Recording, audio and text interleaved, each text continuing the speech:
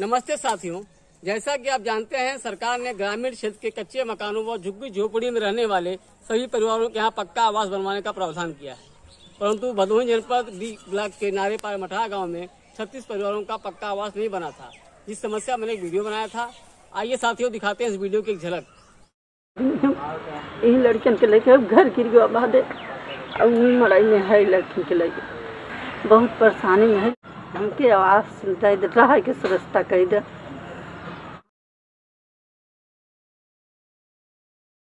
जैसा आपने इस वीडियो में देखा व सुना, वीडियो बनाने के बाद समुदाय में स्क्रीनिंग मीटिंग का आयोजन किया गया और एक आवेदन पत्र तैयार करके समुदाय के साथ ब्लॉक स्तर पर तहसील दिवस में और जिला स्तर में जिला अधिकारियों को आवेदन दिया गया। और लगातार समुदाय के साथ पैरोकारी करने के बाद समुदाय को प्रधानमंत्री आवास योजना का लाभ मिला। अब सभी परिवारों का पक्का आवास बन चुका है, जिससे समुदाय बहुत खुश है। पहले दिक्कत ये थी सर कि दो साल पहले यहाँ बहुत ज़बरदस्त बारिश हुई थी।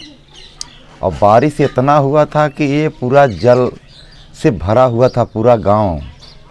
और किसी का घर मतलब कायदे से नहीं था, नहाने, खाने, जो भी अनाज था, और घर में सामग्री था, पहनने, ओढ़ने के लिए, बच्चों के लिए, सब एकदम बेकार हो चुका था, सब बाढ़ में गिर पड़ गए थे।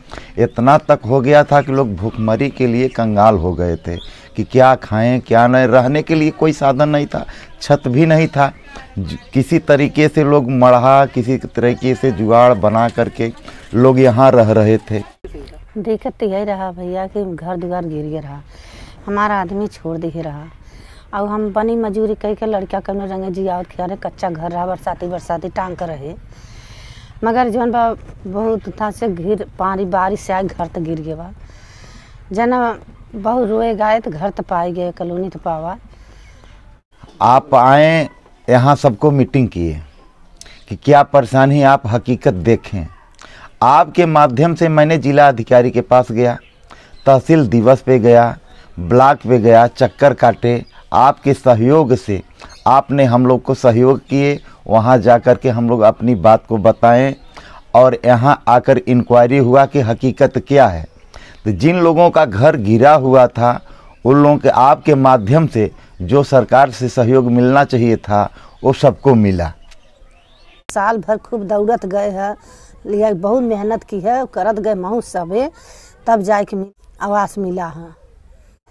अब यही रहा है कि जगह हो गया शरण हो गया। यहाँ पर बाल बच्चा लेके हई खट के लाई आवत है जौन नमक रोटी अपने घर में खाए के बैठी है आवास के विषय में हम लोग बहुत प्रयास किए कि आवास मिल जाए।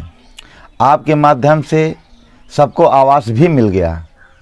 जौन बरसाती टांग टांग रहे हैं जौन रोटी की दिक्कत रही तो पाई गए खिलन सब रोटी खात हैं सुख से खात हैं।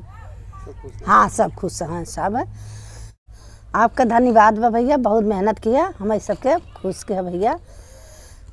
और सब बना लिए और सब अपने अपने आवास में अब जहाँ तक है हर व्यक्ति जिसको आवास मिला था सब संपूर्ण से बना करके अब रह भी रहे हैं।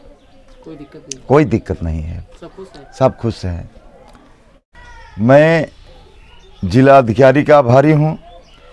तहसील दिवस जितने भी अधिकारी गण थे उनका आभारी हूँ। ब्लॉक से भी मैं सबको धन्यवाद देता हूँ कि जो आपके माध्यम से ये कार्य पूर्ण हुआ।